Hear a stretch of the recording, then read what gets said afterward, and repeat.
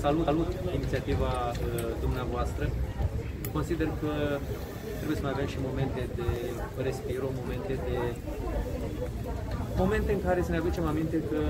suntem oameni. Cu toții poate că